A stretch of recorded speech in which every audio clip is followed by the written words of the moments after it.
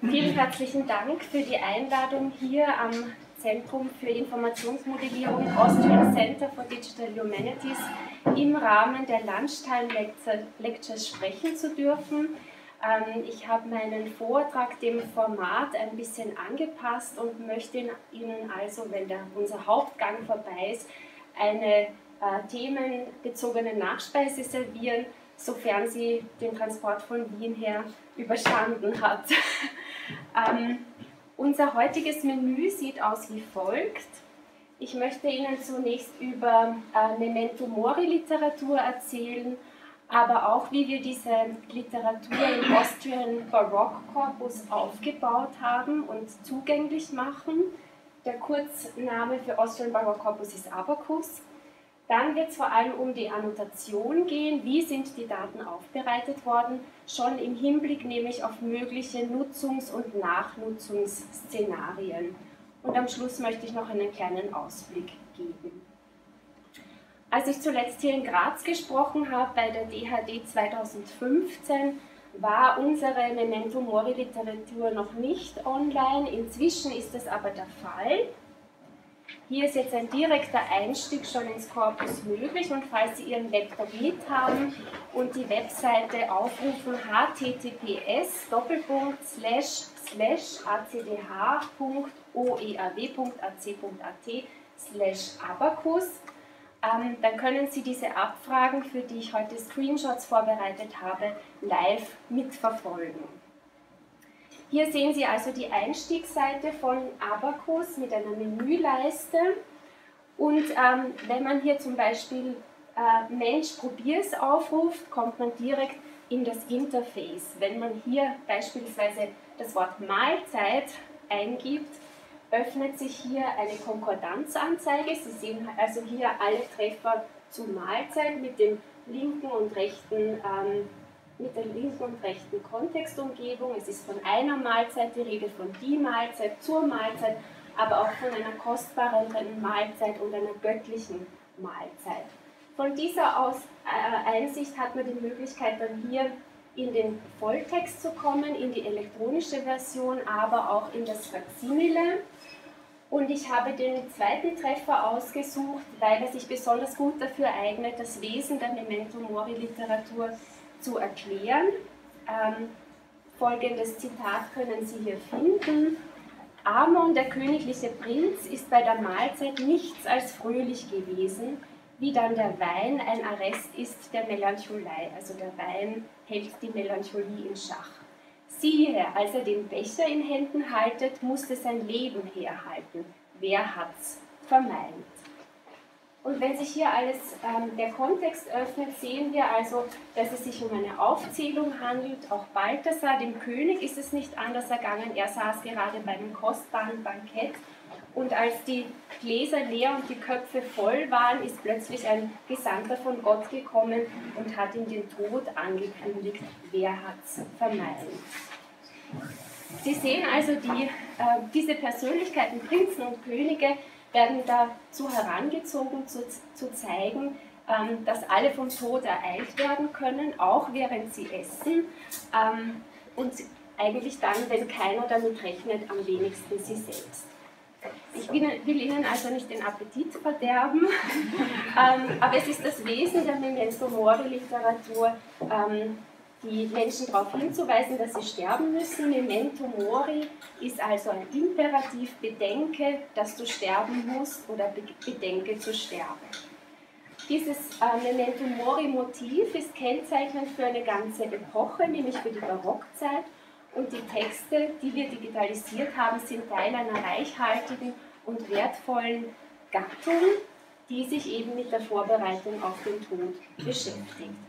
Die Botschaft ist immer die gleiche. Alle müssen sterben und um das zu zeigen, werden also Vertreter unterschiedlichen Standes, unterschiedlichen Geschlechts, unterschiedlichen Alters gezeigt und beschrieben. Heute ist diese Literatur in Vergessenheit geraten, obwohl wir dem Motiv noch sehr häufig begegnen.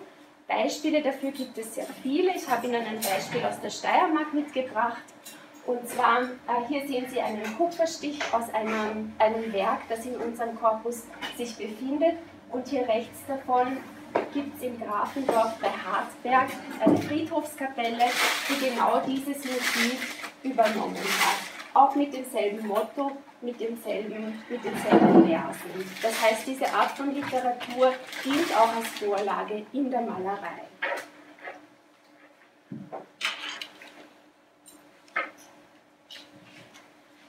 Der Aufbau von dieser digitalen Sammlung von Memento Mori Literatur war sehr stark von Drittmitteln abhängig.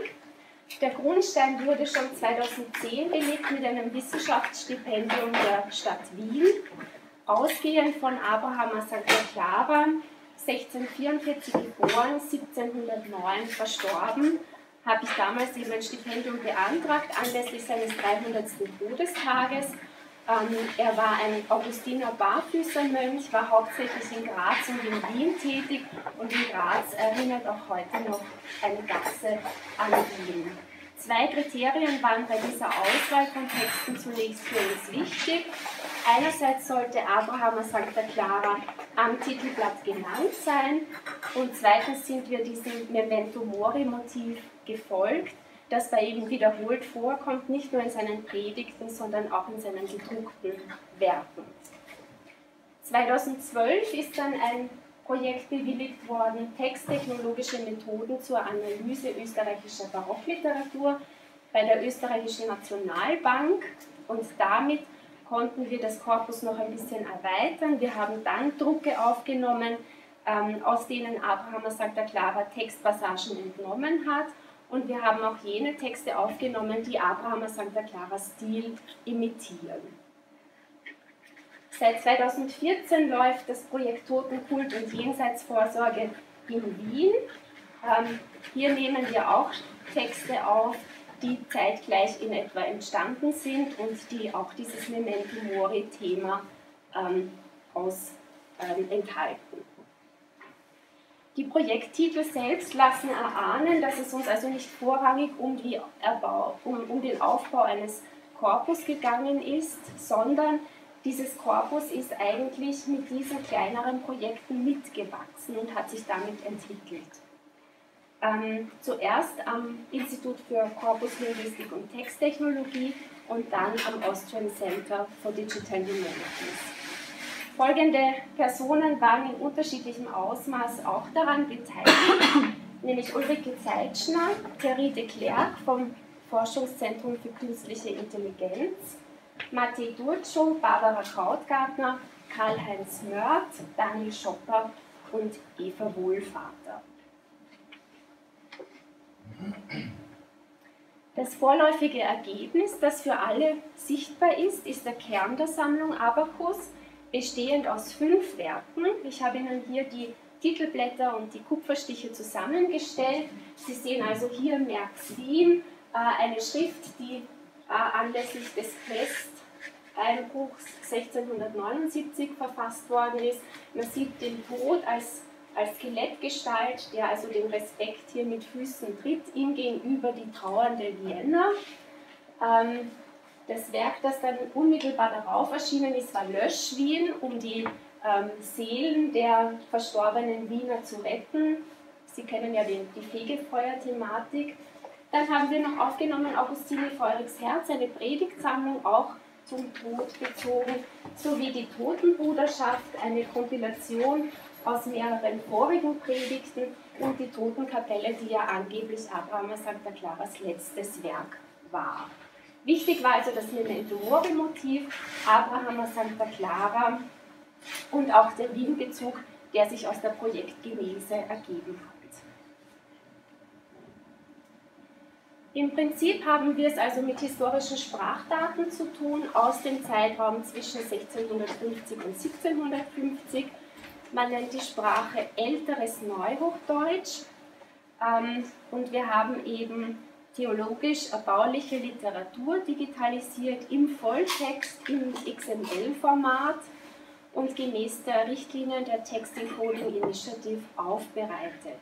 Das heißt, der Digitalisierungsprozess hat eigentlich beim Scannen der Originale begonnen Die werden dann in maschinenlesbaren Text überführt mit Hilfe der Optical Character Recognition. Und Sie wissen ja, dass das Probleme geben kann, insbesondere bei der Frakturschrift. Das heißt, es sind mehrere Kollationierungsdurchgänge nötig, bis man von weitgehend fehlerfreien Texten auch ausgehen kann. Es gibt einige wenige Unterschiede zu anderen Sprachressourcen und Textkorpora. Äh, zum einen sind wir dem Erstdruckprinzip gefolgt.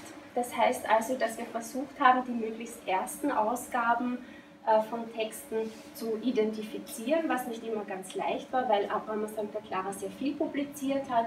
Wir sind fündig geworden in der Universitätsbibliothek Graz, in Salzburg, in der Stiftsbibliothek Melk, an der ÖNB. Ähm, was unsere digitalen Ausgaben besonders von anderen Texten, von älteren Abrahamer Santa Clara Ausgaben und sogenannten Blütenlesen, die es ja von diesem Autor auch gibt, unterscheidet, ist die Wahrung des historischen Sprachstandes. Das heißt, wir haben nichts modernisiert oder verändert, sondern wir wollen unseren Rezipienten einen, einen unvoreingenommenen Blick äh, und einen seriösen Blick auf diese zeitentfernten Texte ermöglichen. Der derzeitige Umfang dieser Datensammlung beträgt ca. 200.000 Token. Das ist für ein historisches Korpus nicht wenig. Es ist natürlich nicht so viel, wie das Deutsche Textarchiv derzeit online hat, aber wir sind damit größer als vergleichbare Projekte, die beispielsweise in Bonn oder in Manchester aufgebaut worden sind. Die digitalen Texte sind nicht repräsentativ für einen Autor oder für ein Genre, auch nicht für eine Sprachlandschaft oder für eine Sprachperiode.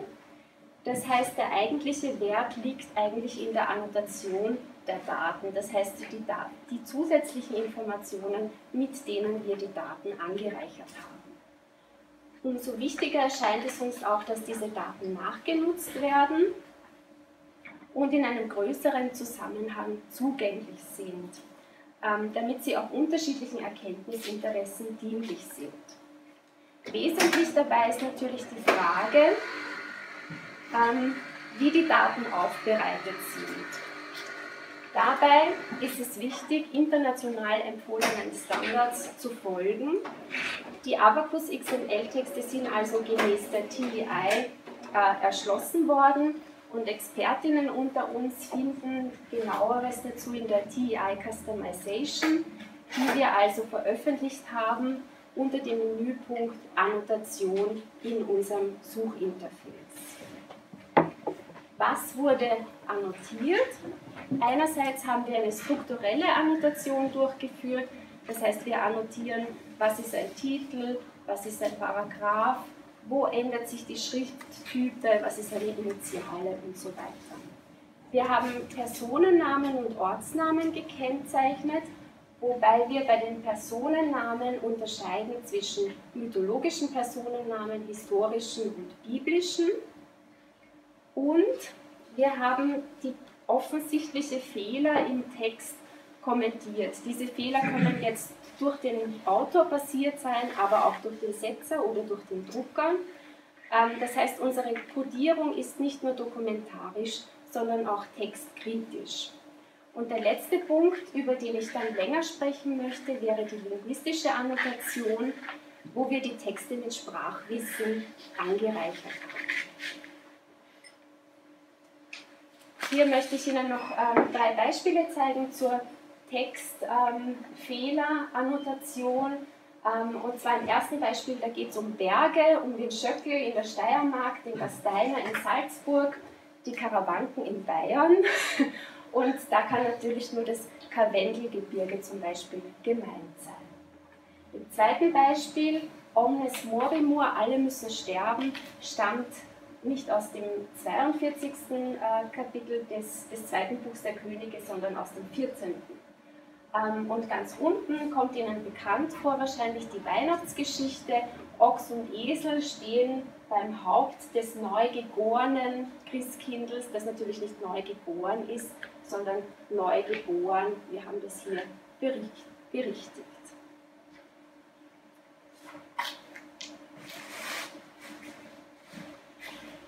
Jetzt würde ich Ihnen gerne berichten, wie wir bei der linguistischen Annotation vorgegangen sind. Einerseits möchte ich über die Theorie und die Praxis des Annotierens sprechen und andererseits auch über die Möglichkeiten, die sich daraus für uns ergeben. In Abacus besteht die linguistische Annotation aus folgenden zwei wichtigen Punkten, nämlich aus der Lemmatisierung, wo jede Wortform einem Lemma zugeordnet wird. Und ähm, der zweite wichtige Punkt ist das Part of Speech Tagging, wo jede Wortform einer Wortklasse zugeordnet wird. Zunächst zur Lemmatisierung. Ähm, Lemmatisierung ist für historische Texte, ähm, bei denen es noch keine orthografische Norm gibt, deshalb besonders relevant und von Nutzen, weil Nutzerinnen mit einem Suchbefehl alle Schreibvarianten im Text finden können. Ich habe Ihnen als Beispiel äh, das Wort unermesslich aufgeschrieben, das heißt, man kann dann mit einem Suchbefehl alle Wortformen im Text davon finden. Das gilt aber nicht nur für die Schreibweisen, sondern das gilt eigentlich für das gesamte Flexionsparadigma. Wenn ich ein Lemma suche wie helfen, finde ich alle Formen im Text wie helfen, geholfen, helft, hilft, hilft und so weiter. Das heißt, die Motivation dieser Lemmatisierung ist eigentlich folgende, ähm, dass wir die Suche generalisieren können. Beim Ansetzen dieses Lemmas haben wir uns zunächst am Duden orientiert und die Worte, die im Duden nicht vorhanden waren, haben wir im deutschen Wörterbuch von Jakob und Wilhelm Grimm nachgeschlagen. Ähm, allerdings kommen in, in Abacus auch über 1000 Belege vor, die weder im Duden noch im deutschen Wörterbuch verzeichnet sind. Ich habe Ihnen hier einige Beispiele aufgeschrieben, vor allem Adjektive, und diese Worte wurden als Out of Vocabulary Words gekennzeichnet.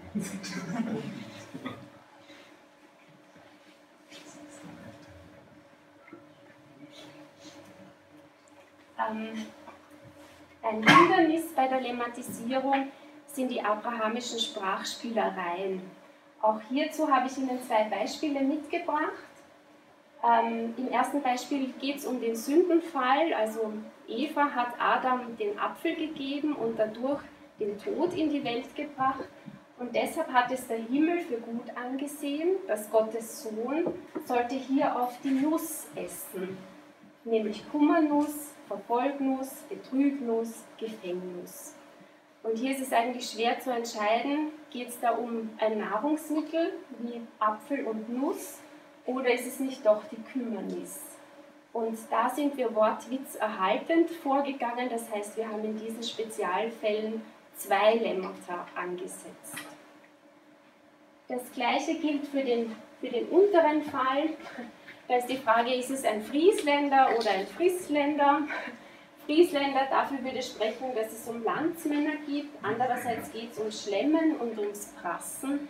Und deshalb haben wir sowohl den Friesländer als auch den Friesländer als Lemma angesetzt.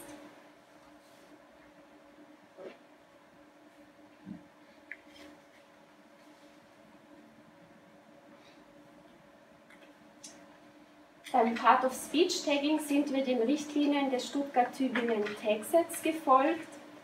Ähm, es gilt mittlerweile als de facto Standard und hat sich in der Forschungsgemeinschaft etabliert.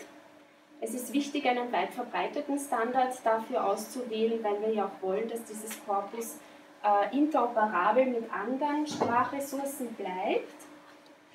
Ähm, die Motivation für dieses Part of Speech Tagging ist einerseits auch eine Generalisierung bei der Suche. Das heißt, ich kann zum Beispiel alle Interjektionen suchen, alle Nomen, alle Adjektive und so weiter. Aber ich kann auch die Suche spezifizieren, indem ich zum Beispiel die Wortform der suche, wie hier, aber in, nur in der Funktion eines Relativpronomens. Und dann bekomme ich alle Treffer in denen der als Relativpronomen gebraucht wird. Das heißt, ich habe schon bei der Abfrage die Möglichkeit, Mehrdeutigkeiten auszuschließen.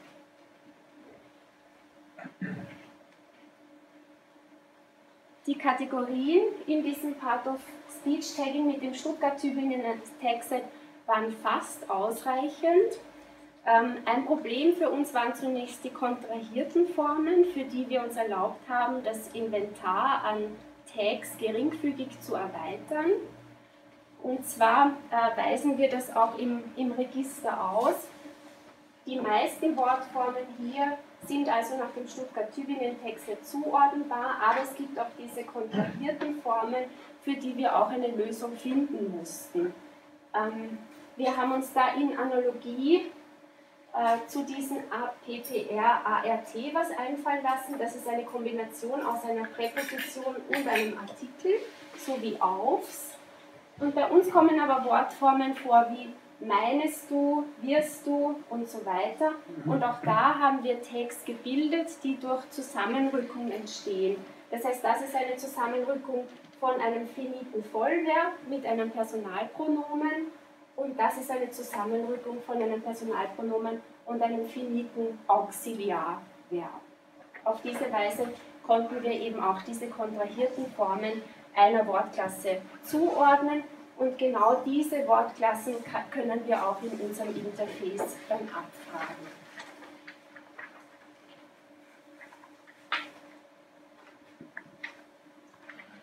Ähm, ich möchte jetzt noch auf die Annotationsstrategie in Abacus zu sprechen können. Sie fragen sich sicher, ob man für diese Zuordnungen automatische Tools verwenden kann. Ähm, grundsätzlich ja, würde ich sagen, aber mit Einschränkungen. Denn die Sprachstufe ist einerseits zwar andersartig als die Gegenwartssprache natürlich, andererseits weist sie schon hinreichende Ähnlichkeiten mit ähm, heutigen Texten auf, sodass sich der Einsatz automatischer Tools auf jeden Fall lohnt. Obwohl Tools wie der Tree Tagger, der zum Beispiel von Helmut Schmidt an der LMU München entwickelt worden ist, äh, obwohl der eigentlich nicht für historische Texte geeignet ist oder entwickelt wurde, sondern für Zeitungstexte. Historische Texte sind typische Non-Standard-Texte für den Sprachwissenschaftler und zwar, weil sie einerseits Lexeme enthalten, die heute unbekannt sind. Sie enthalten auch Flexionsmuster, ähm, die wir heute nicht mehr wählen würden. Und ähm, diese Sprachstufe ähm, kennt auch noch das Nebeneinander von verschiedenen Sprachvarianten, was für automatische Tools natürlich ein gewisses Problem darstellt. Das heißt, unsere Strategie war die folgende. Wir wollten in einem ersten Schritt so viel an, wie möglich an Daten automatisch generieren und zuordnen mit Hilfe des Tree Taggers und haben dann in einem zweiten Schritt versucht, diese Daten nachzubearbeiten mit Hilfe des Token Editor, zu dem ich gleich noch was sagen werde, um diese Sprachressource schrittweise zu verbessern.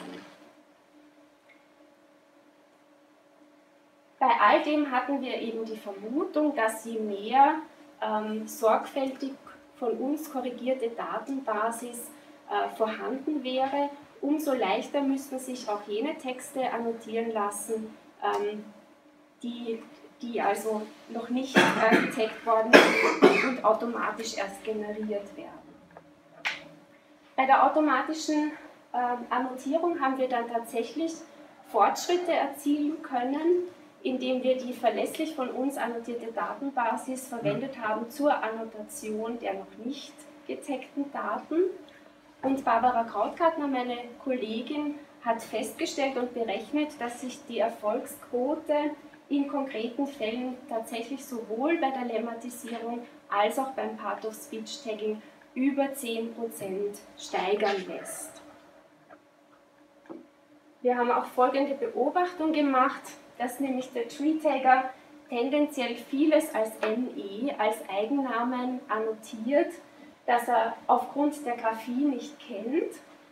Ähm, das heißt, wir haben dann mit den berichtigten Daten eine Tagstromanalyse gemacht, ähm, wo wir herausgefunden haben, dass eigentlich nur 18% der als NE getagten Wortformen tatsächlich Eigennamen waren und der Rest verteilt sich auf alle anderen Wortklassen auch. Ähm, das heißt, um das Tagging zu verbessern, äh, muss man vor allem den Anteil unbekannter Worte verringern, indem man das, das zeitspezifische und genrespezifische Vokabular aber mit der Zeit eben erweitert durch die manuell korrigierten Daten.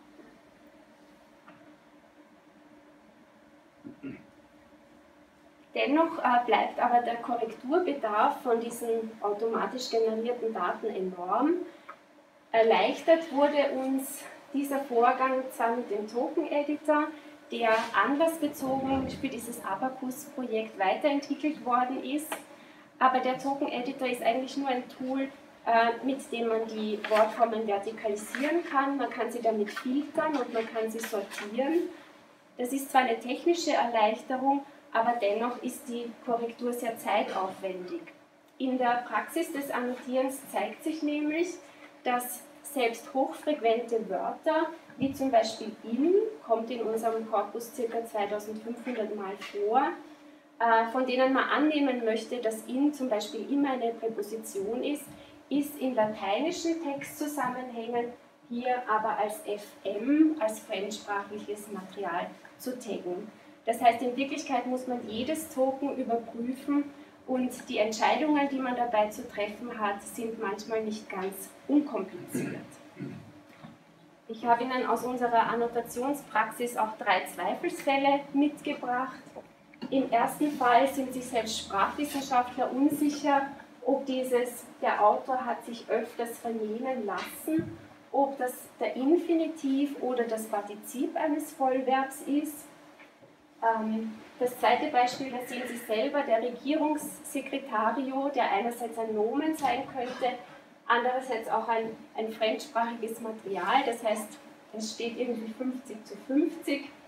Und hier unten sehen Sie, dass es oft auf Schreibweisen ankommt. Wir haben hier das Beispiel um Gottes Willen und wenn Willen hier groß geschrieben wird, ist es äh, natürlich ein Nomen wenn Willen klein geschrieben wird und nachgestellt wird, ist es eine Zirkumposition rechts.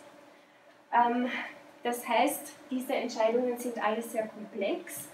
Ähm, rückblickend gesehen ähm, wissen wir auch, dass Abraham Santa Clara ein schwerer Fall ist. Das haben nicht nur wir festgestellt, sondern auch Erhard Hinrichs und Thomas Sastroff, die anhand einer viel kürzeren Textstrecke festgestellt haben, dass es bei Abraham Santa Clara ungleich mehr Tagging-Fehler gibt als bei vergleichbaren Daten oder sogar bei noch älteren Daten. Und das liegt einfach an der Komplexität und an der Länge seiner Satzgebilde.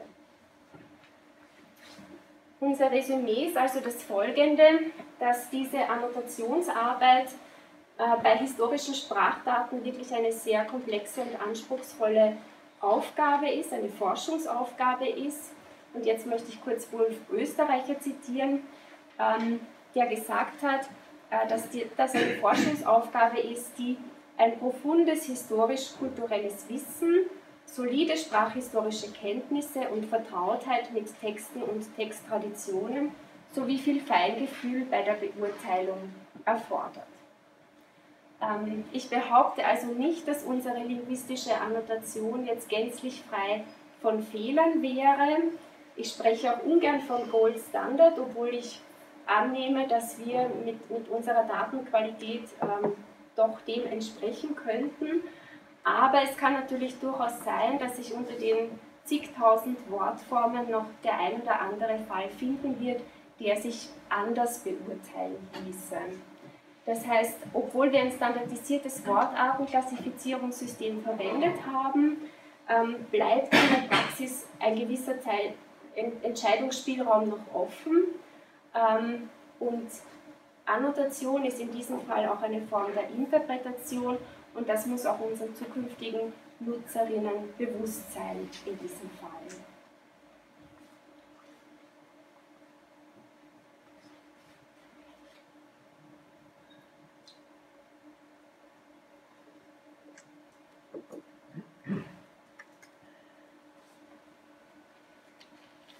Linguistische Annotation, nicht die automatische, aber die Nachkorrektur der automatischen Annotation hat jedenfalls ähm, so viel Zeit in Anspruch genommen und war so aufwendig, dass man unbedingt nach ihrem Nutzen und Mehrwert fragen muss.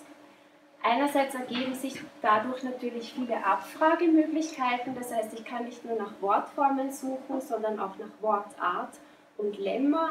Ich kann Phrasen suchen, ich kann kombiniert suchen und mit weiteren Tools lassen sich natürlich noch komplexere linguistische äh, Abfragen an die Daten stellen. Aber mit der sorgfältig korrigierten Datenbasis können wir auch den Erfolg automatisch erzeugter Taggings messen.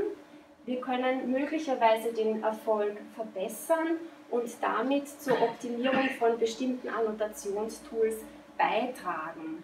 Das heißt, in Zukunft kann all das dazu beitragen, dass wir künftig weitere Texte aus dieser Zeit möglicherweise effizienter annotieren werden können. Das heißt, das Potenzial dieser Ressource liegt auch in ihrer Wiederverwendbarkeit, dass wir selbst, aber auch andere ähm, Forscher diese Daten verwenden können, um damit ähm, verschiedene Erkenntnisinteressen ähm, beantworten zu können, weil da eben sehr viel bereits erarbeitetes Wissen über den Text in diesen Texten gespeichert ist. Nachdem wir nicht alle Fragestellungen, die an diese Datengrundlage herangetragen werden, antizipieren können, sind wir grundsätzlich davon ausgegangen, dass die am weitesten verbreitete Art der Nutzung vermutlich immer noch in der Suche besteht, im Lesen und im Browsen. Und wir haben uns daher für, dieses, für diese Benutzeroberfläche entschieden, weil sie dazu geeignet ist, einem abrahamischen Buchtitel Titel folgend, nämlich etwas für alle, zu bieten, indem sie mehrere Möglichkeiten der Nutzung eröffnet. Sie sehen also ähm, hier die Möglichkeiten, die sich bieten. Wir haben ein Menü, wir haben die verschiedenen Indizes, äh, wir haben die Bücher mit Inhaltsverzeichnis und Metadaten dazu. Wir haben einen Vorschlag zur Zitation gemacht, in der Mitte die Suchmaschine und die Konkordanzanzeige und dann hier eben die synoptische Ansicht von elektronischem Text und Faximile und jedes Wort ist mit diesem Lemma und POS-Tag unterlegt. Ähm, dieses, ähm, die Funktionalitäten basieren auf dem Publikationsframework Corpus Shell, das bei uns am ACDH entwickelt und weiterentwickelt wird. Das heißt, für einen Leser äh, bietet sich der Zugriff auf ein Werk, möglicherweise über ein Inhaltsverzeichnis. Er kann sich dafür entscheiden, ob er im Frakturtext lesen möchte oder im elektronischen Text. Er kann blättern und ähm, sofern das gewünscht ist, wenn er zum Beispiel ähm, sein Textverständnis verbessern wollte und hier auf ein Wort stößt wie Need und hungrig sein, wenn er hier mit dem Cursor über, dieses, ähm, äh, über diese Wortform ähm, fährt, sieht er also, dass Need eine alte Form von müde wäre. Für die Leute, die in diesem Korpus suchen wollen, bieten sich auch mehrere, mehrere Möglichkeiten. Einerseits gibt es also die Register mit Wortformen, Lemmata, Wortarten, Personennamen, Ortsnamen ähm, und auch diese Suchleiste, von die ich, deren Funktionalitäten ich vorher schon vorgestellt habe, die auch über eine Autovervollständigungsfunktion verfügt.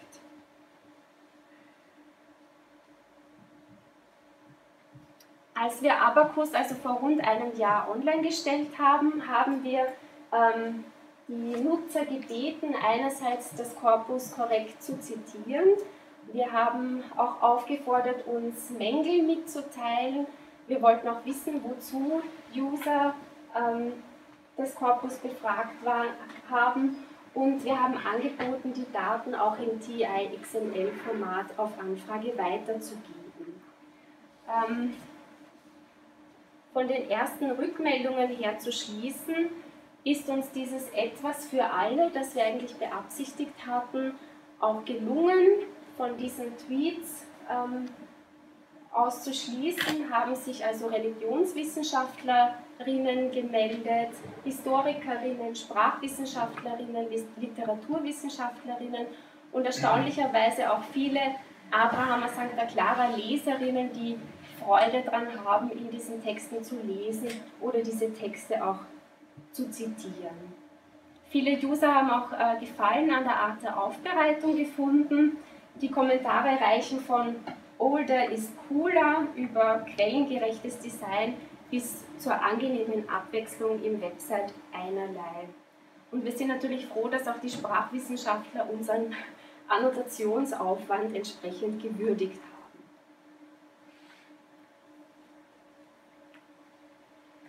Ähm, weitere Anfragen haben sich auch ergeben, die sich auf die Datenbasis selbst beziehen. So hat sich zum Beispiel das Projekt Transcribus gemeldet, das unsere validierte Datenbasis zur Verbesserung der Handwritten Text Recognition verwenden möchte.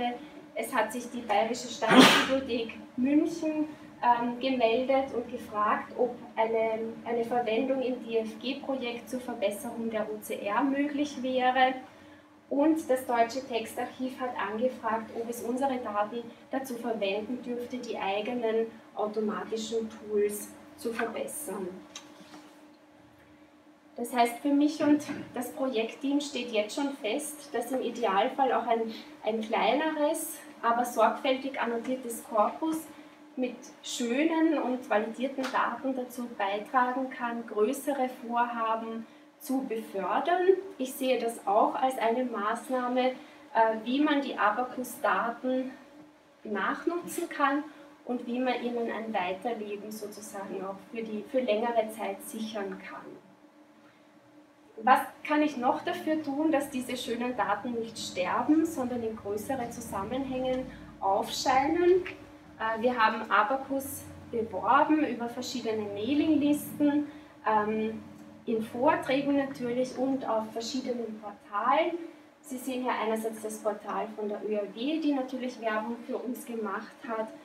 Die Abacus-Daten selbst befinden sich auch im Language Resource Portal und sind damit Teil des Virtual Language Observatories, über das die Daten auch abgefragt werden könnten und sind daher auch ein Showcase in, in der Forschungsinfrastrukturinitiative Clarin. Ähm, was noch ganz wichtig war, ich habe Verlinkungen hergestellt, beispielsweise von, den, von der Abraham Santa Clara Wikipedia-Seite, ähm, wo man natürlich auch zu seinen Werken, die online stehen, finden soll. Ähm, ich habe eine Verlinkung hergestellt von Wien Geschichte Wiki. Ähm, wir haben uns zum Teil sehr originelle Werbemaßnahmen einfallen lassen bei Konferenzen, wo Leute dazu aufgefordert waren, ein eigenes Memento Mori Picture zu machen. Wir haben dazu also auf Lebensgröße den Kupferstich von Merx Wien ähm, als Poster ausgedruckt und wir haben einige Bookmarks auch erstellt, von denen inzwischen auch noch welche übrig sind. Ja, abschließend möchte ich noch einen kurzen Ausblick geben auf das, was wir vorhaben. Äh, für den Weiterbestand der Daten besonders wichtig wird sein, dass diese Web-Applikation weiter gepflegt wird. Um ihre Nutzbarkeit nämlich sicherzustellen, ist es wichtig, solche Systeme dauerhaft, das heißt auch über die Projektlaufzeit hinaus, ähm, zu betreuen, so wie es den Bedürfnissen dieser Ressource auch entspricht denn nur dann können diese digitalen Leistungen auch zitierfähig bleiben und nur dann bleibt auch der dahinterstehende wissenschaftliche Aufwand äh, in dieser Form sichtbar. In den letzten Jahren haben wir uns auch ein profundes Wissen über, über diese Sprachstufe angeeignet. Wir haben also automatische Tools an diesen Texten erprobt wir haben an einem, damit an einem Methodeninventar für Non-Standard Varieties gearbeitet und wir haben außerdem Vorschläge für, zur Erweiterung des Stuttgart-Tübingen Textsets eingebracht. Und wir können mittlerweile periodenspezifische Herausforderungen, die, sich, die damit verbunden sind, viel besser abschätzen. Das heißt, ähm, Wir möchten uns zukünftig auch noch stärker mit Experten von anderen Disziplinen vernetzen, mit denen wir im Fachbereich Early Modern Digital Humanities herausfinden möchten, ähm, wie digitale Methoden eingesetzt werden können, insbesondere für Texte aus der frühen Neuzeit. Ein weiteres Ziel wäre natürlich, die Textbasis auch zu erweitern. Ähm, Im Moment, ich, ich, weiß nicht, wie, wie schnell wir das in absehbarer Zeit schaffen können. Geplant sind derzeit noch drei Nachrufe auf Abrahammer Santa Clara online zu stellen, die also zu seinem Tod 1709 erschienen sind. Ähm, eine Erweiterung wäre aber eigentlich in mehrere Richtungen denkbar. Einerseits gibt es noch genügend Memento Mori Material, aber es gäbe natürlich auch genügend Werke von Abraham Santa Clara, so viele, dass es bislang eben noch keine Gesamtausgabe seiner Werke gibt. Das könnte ein Anfang dazu sein. Ja, mit Blick auf die Uhr möchte ich meinen, meinen Vortrag hier schon beschließen. Ähm, ich bedanke mich für Ihre Aufmerksamkeit. Und ähm, wenn Sie möchten, könnten wir jetzt zur Nachspeise übergehen. Ähm, ich habe für heute Anlass bezogen, diese Memento Mori Cupcakes äh, produzieren lassen. ähm, ja, also ich, ich würde Sie bitten, wenn Sie sich eins nehmen wollen, ich stehe dann selbstverständlich für Ihre Fragen zur Verfügung und nach einem ein bisschen Zucker kann ich vielleicht auch Antworten auf Ihre Fragen finden. Dankeschön.